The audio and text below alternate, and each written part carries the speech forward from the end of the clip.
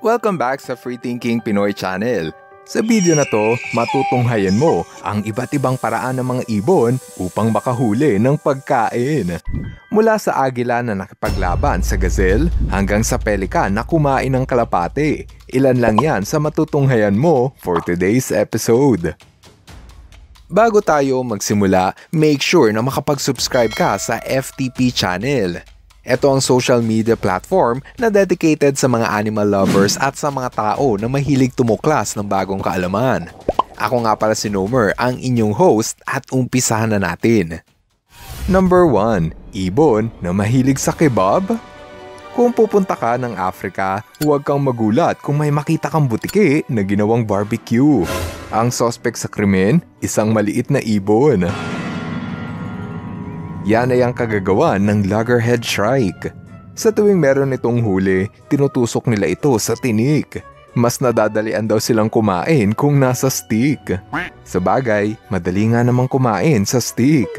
Gayunpaman, kabibiliban mo ang loggerhead shrike dahil kahit kasing liit lang ito ng maya, napakabrutal naman ito sa kanyang biktima. Buti na lang at maliit lang ang mga ibon na to dahil kung kasing laki nila ang mga ostrich, lagot tayo sa mga ibon na to. Number 2. Heron na may payong dito pa rin sa Africa, makikita ang pambihirang ibon na may nakakatuwang estilo. Upang makahuli ng pagkain, gumagawa ito ng lilim. Sa ganitong paraan, mas malinaw niyang nakikita ang ilalim ng tubig. Mas lumalapit din daw ang mga isda sa lilim kaya ang mga heron pagalingan sa paggawa ng payong. Sa unang tingin, aakalain mo naglalaro lang ang mga ibon na to. Peekaboo! Peekaboo! Peekaboo!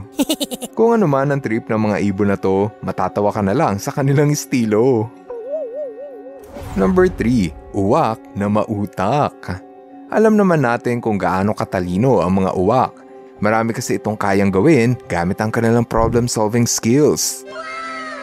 Isa sa paborito nilang kainin ay ang buto ng walnut pero sobrang tigas nga lang ng balat nito. Kaya naman ang mga uwak ay nakaisip ng paraan. Ilalagay nila ang matigas na mani sa kalsada at hahayaan itong masagasaan. Kapag nabasag na ang shell, sa kanila ito kakainin. Ngunit hindi lang dyan natatapos ang kanilang talino. Marunong din itong sumunod sa traffic light. Gaya ng uwak na to na naaktuhang sumusunod sa traffic light.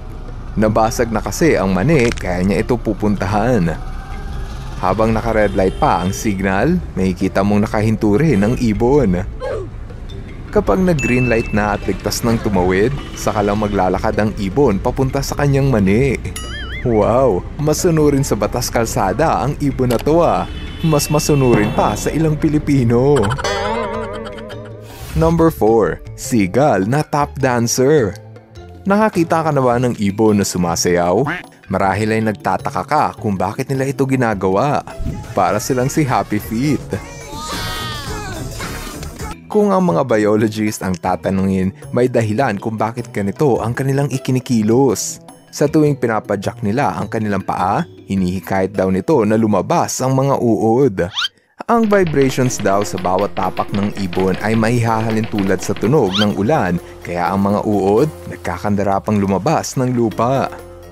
Sa ganitong paraan, nakakain na sila ng uod, nag-enjoy pa sila sa pagsayaw. Let me see a tap dance. Come on. Number 5. Isa pang ibon na palasayaw. Ito ang ibon na naghahamon ng dance showdown sa mga sigal.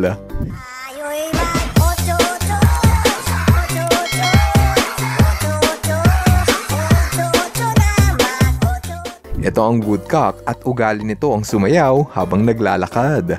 Gaya ng sigal, intensyon ng mga woodcock ang sumayaw upang lumikha ng vibrations. Hindi ako sigurado kung effective ba ang kanilang estilo, pero sigurado ako na nag enjoy ang mga ibon na to habang sumasayaw. Number 6. Agila ng hulog ng ahas. Kakaiba naman ang trip ng ibang lawin. Tao. Gaya ng video na to na nakunan sa Australia. Nasaksihan ng mga tao ang lawin na dumagit ng ahas ngunit hindi nila inaasahan ang susunod na mangyayari. Oh, there's a hole.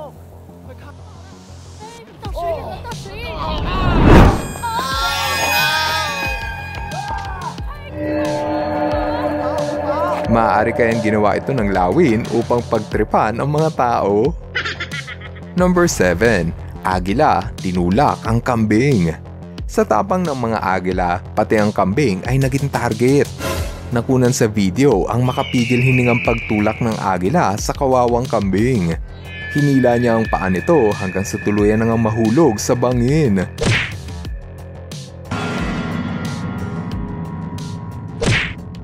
Pagbagsak ng biktima, ito na ang kanyang oras upang kumain. Ang mga agila ay kayang bumuhat ng 6 na kilo, kaya kung bata ka pa, magtago ka na pag may agila. Number 8. Agila laban sa gazelle.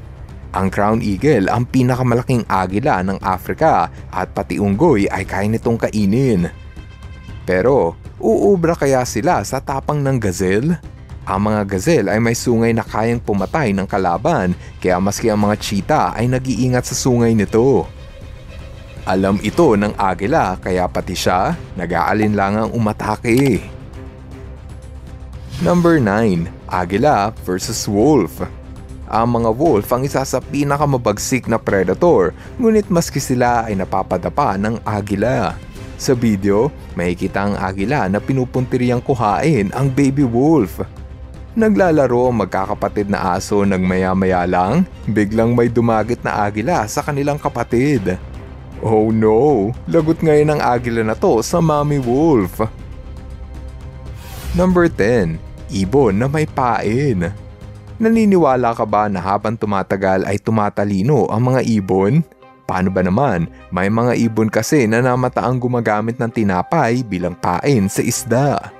Sa isang resort sa Florida, kinagiliwan ng mga turista ang heron na naglagay ng tinapay sa tubig. Sa tuwing may malaking isda na kakain sa tinapay, kinukuha ng ibon ang pain. Nakareserba lang daw kasi ang tinapay sa isda na kaya niyang hulihin. Wala pang isang minuto, nakahuli din siya ng isda. Nakakatuwang isipin na ganito ka-advance ang isip ng heron. Talaga namang lamang ang may alam. Number 11. Tuka na hindi pantay. O ito, nakakita ka na ba ng ibon na magkaiba ang haba ng tuka? Ito ang black skimmer at makikita lamang sila sa kontinente ng Amerika. Kasali sila sa ating listahan dahil sa kakaiba nitong estilo. Sa tuwing sila ay nagugutom, lumilipad ito sa ibabaw ng tubig sa tsansa na makahuli ito ng isda. E kaya naman pala mahaba ang kanilang tuka dahil para sila naghahanap ng fishbowl na pwedeng tusukin. Dahil sa kanilang kakaibang teknik, deserve nilang makapasok sa ating listahan ng Amazing Hunters. Number 12 tuka na may bulsa. Upang makahuli ng isda, ang mga tao ay naglalatag ng fishing net. Hindi dyan nalalayo ang estilo ng mga pelikan dahil maski sila ay merong patibom. Para makahuli, binubuksan nila ang kanilang malapad na bibig upang saluhin ang isda na parang tabo. Sa laki nito, halos wala nang kawala ang isda.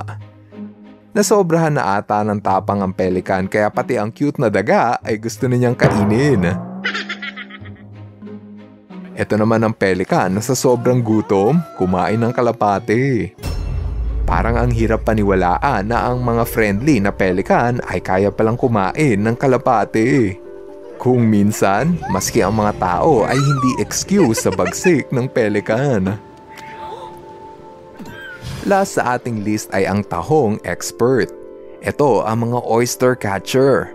Bagay na bagay sa kanila ang pangalang oyster catcher dahil eksperto sila sa pagkain ng talaba, tahong at suso.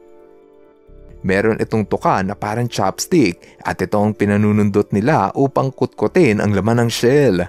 Maski dito sa Pilipinas, mayroong mga ibon na oyster catcher. Hindi ko masasisi ang mga ibon na to kung bakit sila mahilig rito dahil masarap naman talaga ang kumain ng tahong. Mmm, yummy! Tahong mukbang! O ano, nag-enjoy ka ba sa ating kwentuhan? Alin sa mga ibon na to ang pinaka-astig sa hunting strategy? Let us know in the comment section para ma-share mo ang iyong opinion. Ngayon, andito na tayo sa ating shoutout portion.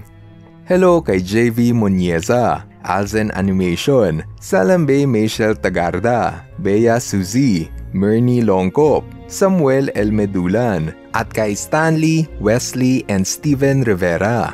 Maraming salamat sa inyong panunood. Now see you guys on my next video.